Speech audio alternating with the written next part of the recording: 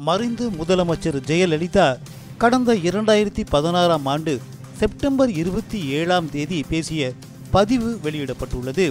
தனக்கு ஏற்பட்ட மூச்சுத்திணறல் குறித்து ஜெயலலிதா பேசிய ஆடியோ தற்போது வெளியாகி உள்ளது.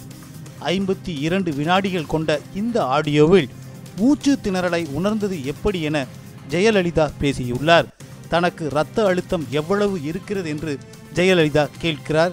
அதற்கு அப்போலோ மருத்துவர் அர்ஜனா நூற்றி நாற்பதிலிருந்து எண்பது வரை இருக்கிறது என்று பதில் அளிக்கிறார் ஜெயலலிதா இது எனக்கு நார்மல் தான் என்கிறார்.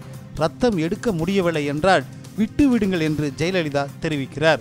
தியேட்டரில் முதல் வரிசையில் இருக்கும் ரசிகன் விசிலடிப்பது போல் எனக்கு மூச்சு திணறல் ஏற்படுகிறது என ஜெயலலிதா கூறியுள்ளார். ஜெயலலிதா மரணம் குறித்து ஓய்வு பெற்ற நீதிபதி ஆறுமுகசாமி விசாரணை நடத்தி வருவது குறிப்பிடத்தக்கது.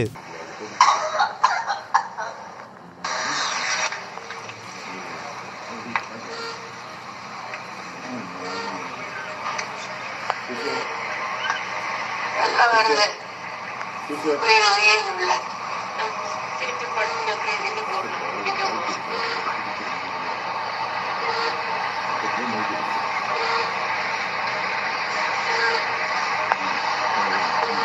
தியேட்டர்ல சீட்ல மாதிரி